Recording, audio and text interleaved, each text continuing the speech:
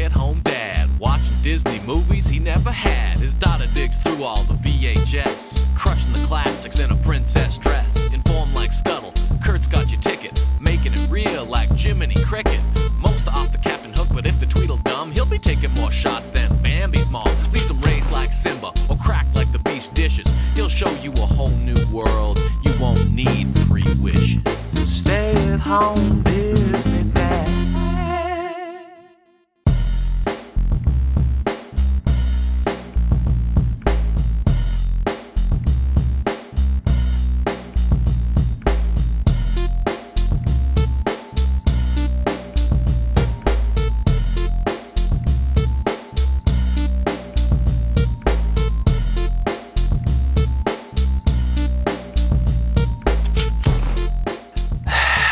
The Little Mermaid 2, the sequel to arguably the best Disney movie ever made.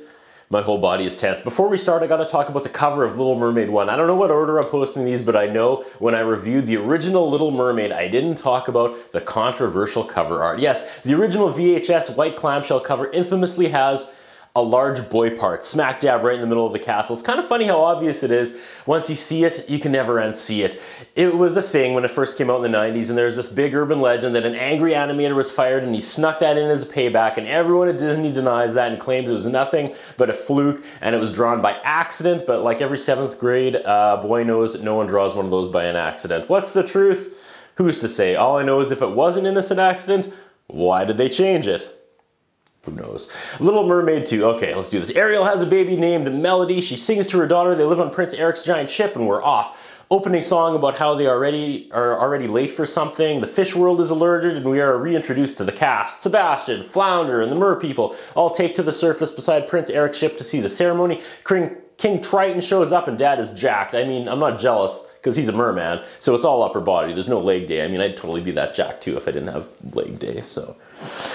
Triton gives Ariel's kid a locket and surprise, quote, Ursula's crazy sister is here, and it's skinny Ursula named Morgana. She kidnaps the baby, claims, quote, Ursula wanted to be here, but something came up. Oh yeah, you all shish kebabbed her. That's pretty funny. She calls her lackey Undertow the shark. He takes the, she wants the trident in exchange for the baby. Uh, King Triton agrees. He knew Ursula did in seven minutes what took regular Ursula almost an entire movie. Prince Eric saves the day. The kid is rescued, and new Ursula makes her escape, but threatens to return. They vow that Melody nor Ariel will ever go into the sea again until Morgana is stopped. She vows this and Triton just kind of nonchalantly agrees and is like, all right, whatever. So there it is. Melody will never know about her mermaid heritage. The locket drops into the ocean, floats down like the heart of the ocean from Titanic, and we have a passage of time. Melody is now a spunky 12 year old and Ariel still looks flawless and youthful. I should have raised my kids on a boat, I guess.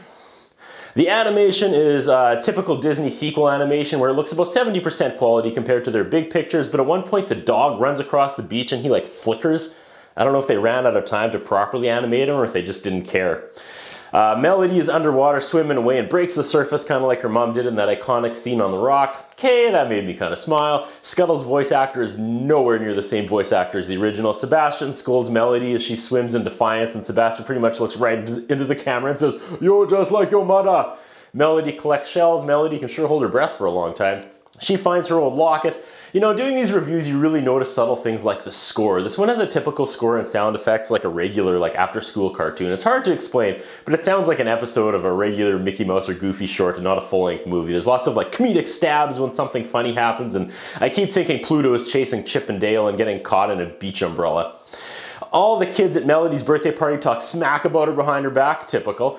Ariel is doing Melody's hair. Eric says they are late. Ariel says, give us two minutes. Eric looks right into the camera and says, two minutes? Right. Where have I heard that one before? All right, calm down, buddy. Okay, Casey missed it, you married a magical sea creature who risked her life and gave up her voice for you. You marry her, you have a baby with this mermaid turned human, and now as a mom, 12 years later, she still looks exactly like she did when she was 16. Oh, but she takes forever getting ready. Women, am I right? Guess that was a joke for all the dudes watching this. Are there dudes watching this? At Melody's birthday, Sebastian accidentally pinches the one boy that's nice to Melody and everything goes to hell. People and tables fall over, there's a mess everywhere. Later, she's up crying in her room. Melody finally opens her locket and sees the magical orb that shows the mer people in their world. Ariel scolds her for disobeying and going over the wall, and I just know there must be a scene on the cutting room floor somewhere that was supposed to happen earlier in the movie where, in true Disney fashion, they warn Melody not to go over the wall. That's a foreshadowing staple of like every Disney movie, but it was missed in this one. Melody bails. The shark tells her to see Morgana and she can solve her problems. This plot is cut and paste from the original Little Mermaid, only reversed. Melody wants to be part of their world. Morgana sits with Melody, and I'm reminded these characters do not really exist in the regular Disney propaganda. Like this movie never happened. I imagine there's one Disney exec that for some reason loves this movie. Like this was their movie as a kid, and in every meeting he or she constantly tries to convince the toy developers that they need Morgana and Melody toys and stuffed animals while everyone else around the table snickers, and then he or she spends the rest of the meeting pouting, but always goes home, fine tunes that pitch, and tries again next Wednesday afternoon. Anyway, Morgana makes Melody a mermaid.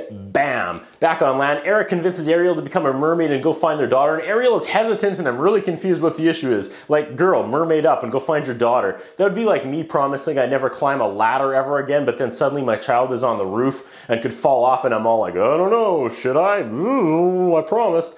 All right, Melody is a mermaid. She sings, and part of your world it ain't, but it's not horrible. This movie has no chance of succeeding following the first one. Sorry, it, it just didn't. I'd argue Little Mermaid is probably the toughest movie to make a sequel for out of all the classics, but here we are. They had to try. There is money to be made. Everyone can judge Disney all they want, but there's not a single person out there that would have said no to the dump truck full of money they offered to write this script, I bet.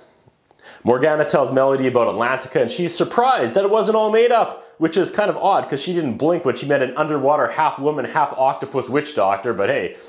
For some reason, Melody is in an ocean with ice, and with the ice comes the comedic penguins and a walrus, and we are force-fed tip the penguin and dash the walrus. Why? I don't know. I speak for every fan of The Little Mermaid that ever existed that we would have much rather had a side story with Sebastian and Flounder than these new characters from Hold on, I can never remember. Internet says penguins can live in both poles, but walruses only live in the North Pole. So they're in the North Pole, like by Santa. Why is Eric navigating his ship near the North Pole? Either way, I'll bet that poor Disney exec has a couple sad, hand-sewn Tip and Dash stuffed animals he or she whips out at these meetings and puts on little plays. Hey Tip, we all know no found Little Mermaid's collection we complete without you and I. I hear you, Dash, old chum. And then one of their sad button eyes falls off and silently rolls off the side of the table. Okay, Melody hits Atlantis with the walrus and the penguin. She spots Grandpa Triton and she is supposed to steal the trident and give it back to Ursula's sister. That was the deal. Triton displays his trademark Triton anger and throws stuff. A fish tells Triton that Ariel is returned and he floats away leaving the trident which Melody steals. But then she drops her necklace. The only one that can move the trident is Triton or one of his descendants. So wait, Ursula was a descendant? Ariel notices Melody's necklace and it took 30 seconds for that drop necklace to play out. Melody has the trident and returns it to Morgana. When Flounder and Sebastian and Scuttle and Mermaid Ariel are all under the sea together, I should probably feel more feels. Ariel tries to stop Melody and sees Mom is actually a mermaid and a liar, so she hands the trident to Morgana. Morgana puts Melody in an underwater prison and tells her time being a mermaid is almost up, so the implication is that she will turn back to human any second and drown. Oof. Morgana explodes out of the water on this badass Mirth throne, and Ariel is her prisoner, and Eric is like, no worries, I'll just use my ship again. And Morgana sinks Eric's ship. Yikes, Ursula didn't think of that. Flotsam and Jetsam drag Eric underwater, and Ariel breaks free. Then we're back to Topper and the Penguin and Walrus. I don't know, I have completely forgotten about them. They fight Morgana's shark sidekick. Melody turns back into a human and is about to drown when the distracted shark smashes through her prison and frees her. Ariel saves Eric's life, who takes too long getting ready now, and everyone is back on land. Morgana uses the trident and makes everyone bow to her, including Ariel. Interest in Morgana rising. This is good. Melody climbs up behind Morgana as she's taking, as she's making Triton bow to her. Melody grabs the trident and stabs Morgana in the tentacle, and my spell check tried to change that to testicle. Triton gets the trident back and puts Morgana in carbonite and sends her spiraling into the ocean depths. Ariel says it doesn't matter if you have fins or feet, they love her for who she is. Melody uses the trident and breaks down the wall that separates their castle from the sea, and the full orchestral part of your world starts playing, and I lean forward, about to close my eyes and bathe in the magic and memories of the first movie. Oh, the song immediately stops, and Sebastian starts singing the laziest Disney song ever. But my own daughter gets up and starts dancing to it, so either the song isn't actually that bad or I've failed as a parent. Probably both. That's what I think about. What do you think? What we have is a concern about Curtis Anderson.